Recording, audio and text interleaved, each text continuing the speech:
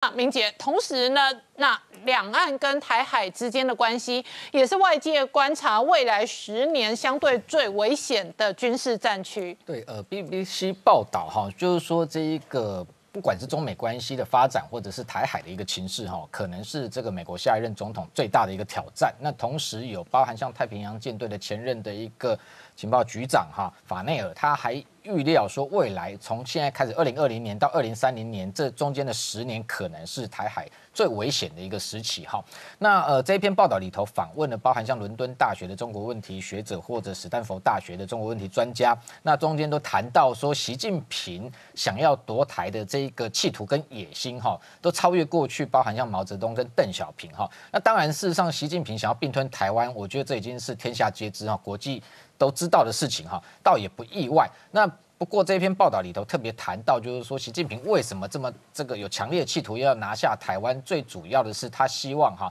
他的这一个在中国建立的历史地位要能够超越毛邓，因为过去毛泽东、邓小平在台湾问题上面的处理啊，并没有做到哈可以真正的统一中国，所以他们是担心说这一个习近平这样的一个企图心，那特别二零一八年他又这样子用一个所谓的一个终身职连任的一个机的这个做法哈，让他的这个整个对台的一个并吞的。企图更为大增，那所有对外的发言跟军事上的动作哈，都这一个剑指台湾哈，那表示说他有这样的一个意图跟决心。不过这个部分事实上这一篇报道里头也特别谈到，就是说其实也不要轻忽美军的一个。这个过去在海外派兵战争的一个作战意志哈，那像这个法内尔他就谈到说，过去不管韩战也好，或者波湾战争也好，美军一旦决定要介入哦，一定就会想办法取胜哈，呃，所以这个部分他认为说，对于习近平他在决策上面是不是要武力犯台，一定会有一个遏制的一个作用。不过这个整个我们看到近期整个的发展，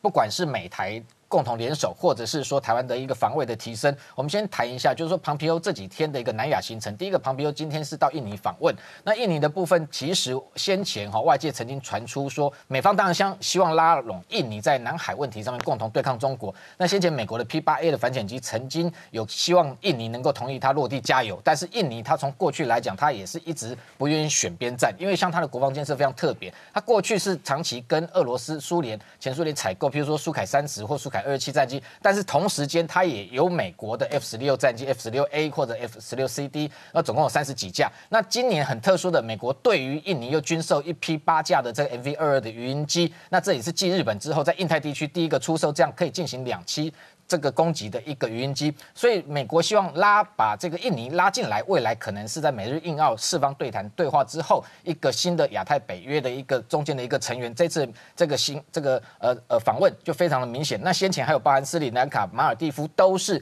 涉及到，其实跟军事都有关。因为像斯里兰卡，美国的航母现在同意哦，这可以让它这个停靠斯里兰卡。那马尔蒂夫，美国军舰也会去停靠。那其实更特殊的是说，这两天传出来说，本来越南不在这个访问行程。程之中，那越南突然邀请这个庞皮欧到访，所以今天的这个印尼的访问行程结束之后，可能庞皮欧就会直飞越南。那这一个动作，当然他们是说这一个是突然造访，那为了要共同庆祝美越建交二十五周年。不过我相信这事前一定有规划啊，不太可能突然。但是为什么用这样的一个？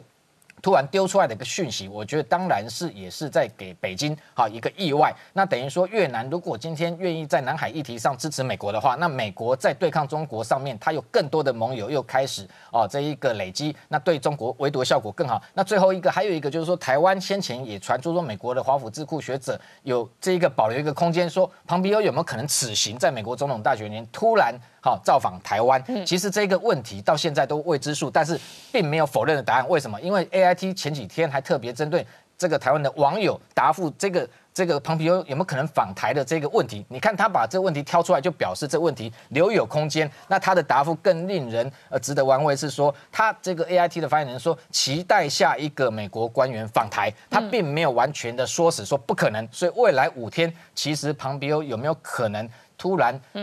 这个席卷台湾，哈，到这个台湾，这个在访问的过程中，然后让北京大吃一惊，可能为美国总统大选也会增添新的变数。